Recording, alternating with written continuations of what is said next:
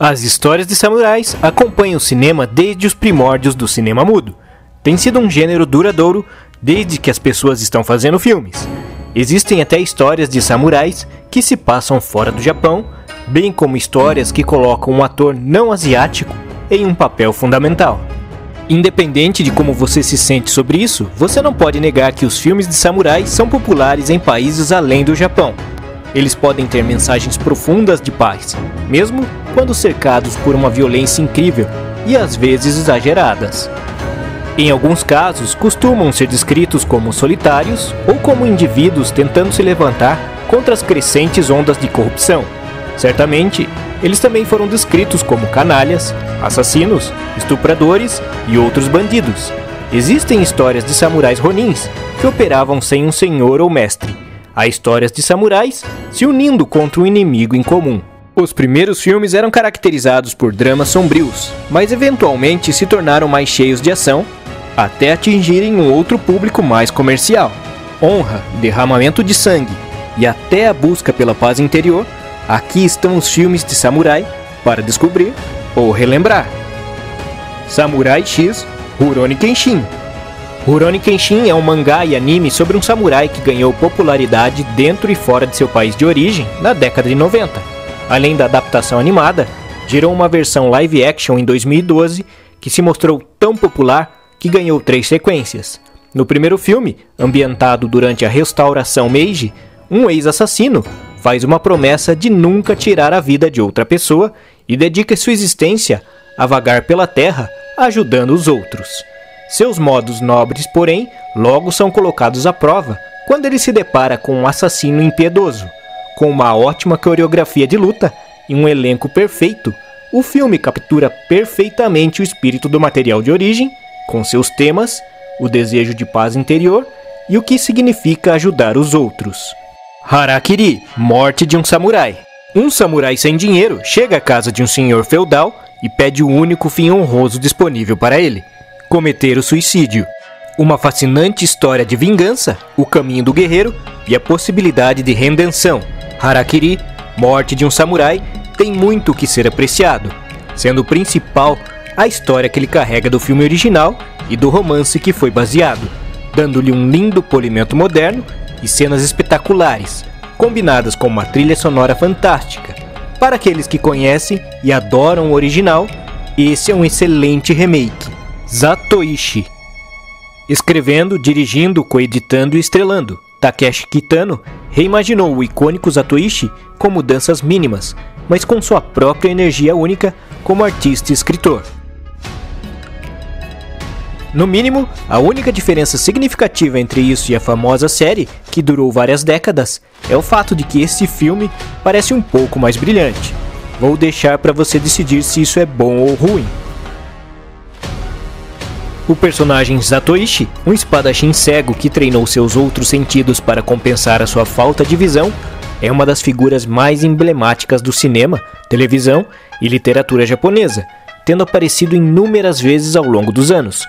Uma das melhores representações da figura icônica do samurai cego.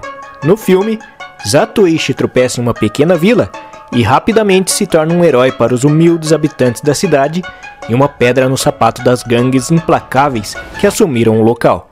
Enquanto procura os melhores interesses dos aldeões, o espadachim cego entra em uma guerra com o submundo criminoso da cidade e trabalha até o topo para eliminá-los de uma vez por todas.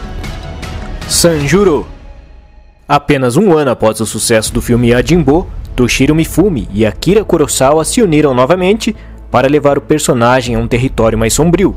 O resultado é Mifune interpretando o personagem com um pouco menos de indiferença em uma história em que Sanjuro auxilia um grupo de jovens que lidam com a corrupção de seu clã. O filme tem muitos momentos engraçados, e a maior parte do humor vem do fato do desejo de Sanjuro seguir a vida sem precisar lutar, e é continuamente frustrado pela necessidade e a estupidez dos outros que decidiu proteger. Dessa vez, por mais engraçado e envolvente que o filme possa ser, o cinismo é um pouco mais perceptível. Teria sido interessante ver o personagem sob a direção de Mifune e Kurosawa pela terceira e última vez, mas não foi o que aconteceu. Yajimbo Kurosawa retorna novamente desta vez como uma história estrondosa de um samurai renegado puxando para uma guerra amarga entre clãs rivais que, por sua vez, causa estragos mortais em uma pequena vila. O Ronin resolve o problema com suas próprias mãos e decide salvar o dia com sua inteligência, enganando cada lado para garantir que se eliminem. Mais do que tudo, o filme é um veículo maravilhoso para o incrível ator Toshiro Mifune, cujo carisma e fisicalidade se destacam nessa explosão de entretenimento. O Samurai do Entardecer. O Samurai do Entardecer pode muito bem ser o filme mais triste dessa lista. Provavelmente será um dos filmes mais deprimentes que você viu recentemente.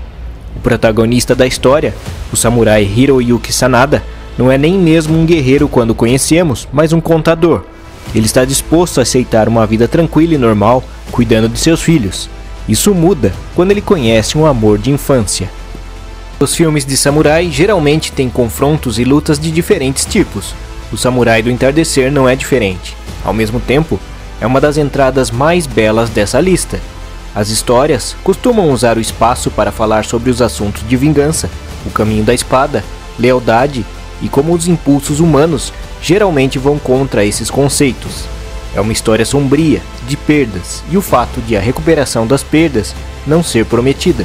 Às vezes, o universo, ou a má tomada de decisões, conspirará para tornar uma coisa ruim ainda pior. A Espada da Perdição. Dirigido pelo diretor Kihashi Okamoto, A Espada da Perdição é um dos melhores filmes sobre samurais.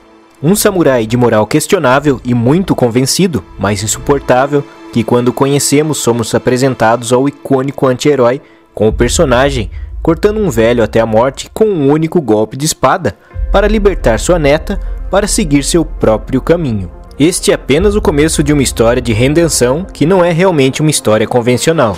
Pelo menos, frequentemente vai contra o que você espera de uma história assim e certamente não lhe dá nada perto de esperança em nenhum momento. Esse pesadelo épico não oferece confronto ou satisfação narrativa convencional, favorecendo a ambiguidade que espelha o coração frio e cruel do protagonista.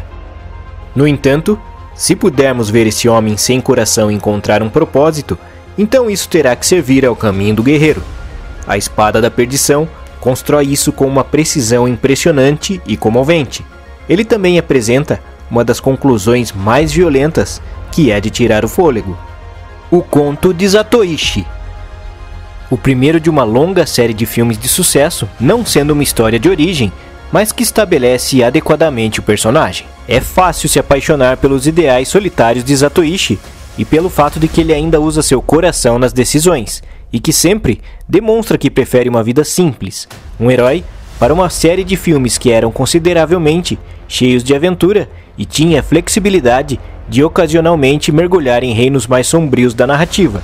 Esse primeiro filme é extremamente divertido e parte disso vem da hábil mistura do humor discreto e as habilidades de esgrima de Zatoichi. Se você quer ver um herói samurai lendário em um filme que ainda é divertido depois de mais de 50 anos, o conto de Zatoichi deve ser descoberto. 13 Assassinos quando um sádico senhor da guerra ameaça desfazer uma paz conquistada a duras penas no Japão feudal, um grupo de samurais desonestos deve se unir para batê-lo. O que começa com um drama histórico sombrio é lindamente filmado e acaba se transformando em puro espetáculo com um final surpreendente. 13 Assassinos tem praticamente tudo o que você poderia querer de um grande filme. Apresenta um elenco vibrante e variado, apresenta o tipo de violência visual que apenas esse filme consegue proporcionar, também se destaca com uma história direta que consegue dar tempo para que todos do elenco brilhem. Existem alguns personagens impressionantes e aterrorizantes para conhecer. Só não se apegue a ninguém. É difícil saber quem chegará vivo no final. Os Sete Samurais Akira Kurosawa, o eterno grã-mestre do cinema japonês, domina essa lista. Escolher um filme perfeito do autor seria uma luta, mas os Sete Samurais seria uma escolha muito boa para o primeiro lugar. Um grupo de aldeões, que são roubados por bandidos por várias vezes, resolvem o problema por conta própria, recrutando uma excelente equipe de samurais para revidar. Segue-se uma história de conflito cultural de classes, embalado até o topo, com muita história e aventura. O filme é dividido em três sessões. A primeira apresenta a reunião dos protetores, pois cada samurai recebe uma apresentação, sendo o primeiro filme a usar essa abordagem. Foi copiado com frequência nas cinco décadas depois, desde que Kurosawa completou o filme. Essa parte é uma montagem, mas é crucial para definir os personagens e seus relacionamentos. Apesar de sua extensão e alcance épico, a chave para o sucesso do filme é que ele se concentre em um pequeno grupo de personagens, a narrativa é direta, permitindo inúmeras oportunidades para sequências de ação elaboradas. Na verdade, a maior parte é muito bem coreografada. A história dos oprimidos se transformando em heróis improváveis é uma fórmula que parece ter um apelo universal, especificamente como nos Sete Samurais, sua abordagem grandiosa e humana ao material inspirou dezenas de outros filmes, remakes e muito mais. Assista se você quer ver o que pode ser o melhor filme de samurai de todos os tempos. É isso aí, pessoal. Essa foi a lista dos top 10 melhores filmes de samurai. Sei que muitos ficaram de fora. Comenta aí quais filmes deveriam estar aqui e aproveita para dizer quais que você já assistiu. Muito obrigado sempre pelo seu tempo e até o próximo vídeo.